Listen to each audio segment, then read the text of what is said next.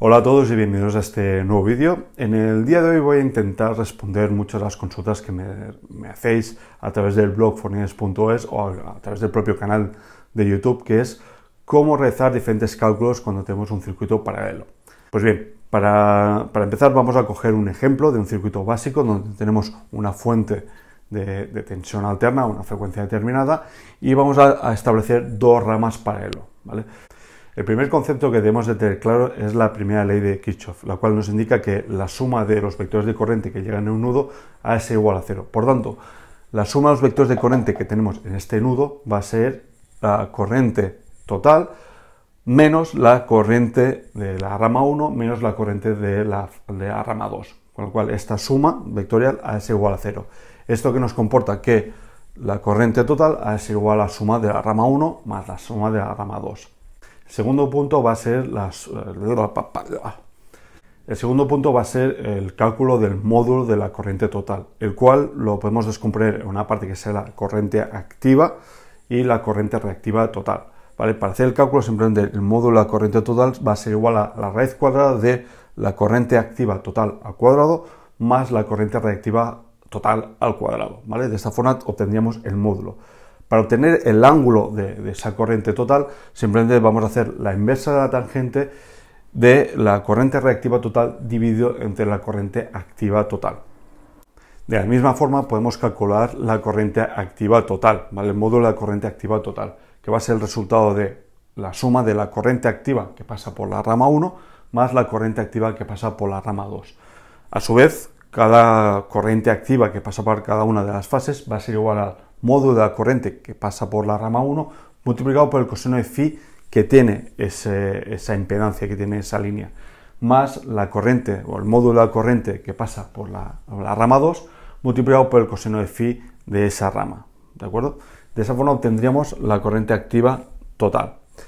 De la misma forma, podemos calcular la corriente reactiva total o la podemos descomponer en la suma de la corriente reactiva que pasa por la, por la rama 1 más la corriente reactiva que pasa por la rama 2, que igual que hemos hecho en el caso anterior, que es multiplicar la corriente de cada una de las, de las ramas por su coseno de phi, en este caso vamos a multiplicar por el seno de phi. De esta forma obtendríamos la corriente reactiva que pasaría por cada una de las ramas.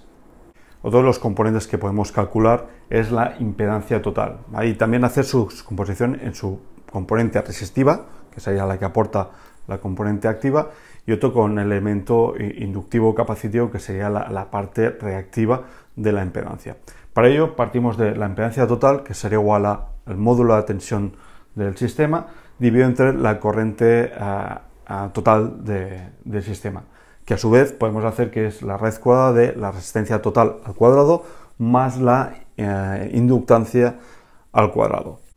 A su vez, la, resistencia total va a ser igual a la impedancia total multiplicada por el coseno de phi total del sistema. Y la inductancia total va a ser igual a, multiplicar la impedancia total por el seno del ángulo total, ¿vale? ya sea inductivo o capacitivo. A partir de aquí podemos calcular la potencia activa total, ¿vale? que la potencia activa total va a ser el resultado de multiplicar la tensión por la corriente total por el coseno de phi total, ¿vale? que es igual a sumar la potencia que tenemos en la rama 1 más la potencia activa de la rama 2, ¿vale? que sería igual a multiplicar la tensión por la corriente que pasa por la, por la rama 1 por el coseno de phi 1 más la tensión por, la corriente de, que pasa por la rama 2 por el coseno de phi 2. Continuamos.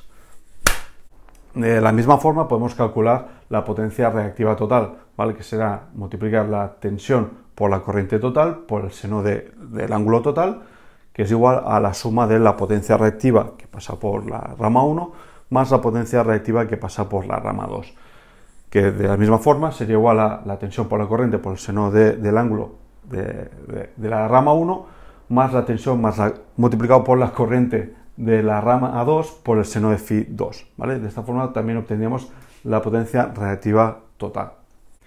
Y por último tenemos el cálculo de la potencia aparente total. ¿vale? Aquí debemos ir con un, poco, un poco más de cuidado porque no podemos directamente multiplicar la tensión por la corriente, ¿vale? porque el cálculo es una, una multiplicación vectorial. Y para ello, para hacer el cálculo de la potencia aparente total, debemos multiplicar el vector de, tensión por el conjugado de la corriente, ¿vale? ¿Qué leche significa eso de conjugado? ¿vale? También es una pregunta que me hacéis bastante. El conjugado de un vector es simplemente coger eh, dicho vector y cambiarlo a su ángulo opuesto. Por tanto, si tenemos un vector de corriente, perdón, si tenemos un vector de corriente con, con un desfase, un ángulo determinado, su conjugado va a ser directamente el mismo módulo, pero con el ángulo inverso. O sea, si este vector tiene, por algo, ¿eh? Un ángulo de 30 grados, su conjugado va a tener un ángulo de menos 30 grados. ¿De acuerdo? Esta es una forma de calcular la potencia aparente de forma vectorial. Si lo que queremos calcular es el módulo de, la, de la potencia aparente, simplemente tenemos que hacer la raíz cuadrada de la potencia total activa al cuadrado más la potencia reactiva total al cuadrado. Uh. Y por último, una de las preguntas que también me hacéis bastante es la representación vectorial de los vectores de corriente. Pues bien, vamos a suponer que ambas ramas son totalmente inductivas, ¿vale? Con, lo cual la corriente está retrasada a la tensión y haciendo la descomposición que hemos estado haciendo con estas expresiones, con estas fórmulas, podemos tener, por ejemplo, si el vector de la corriente que pasa por la rama 1 es este, tendremos la corriente activa de, la rama 1 y la corriente reactiva de la, de la rama 1. Por otro lado tenemos la corriente activa que pasa por la rama 2 y la corriente reactiva que pasa por la rama 2, dando el vector corriente de la, de la rama 1 y el de, la rama 2. Si hacemos la suma vectorial de ambas corrientes, obtendremos la corriente eh, total del sistema, ¿vale? que a su vez también lo podemos descomponer, que es igual a el vector corriente eh, activa total y el vector corriente reactiva total, ¿vale? Que fijaos que dan como resultado, nos da de dar, sobre todo, el vector de corriente total del sistema. Bien, esto es un resumen de las principales fórmulas o elementos que podemos calcular cuando tenemos un circuito paralelo.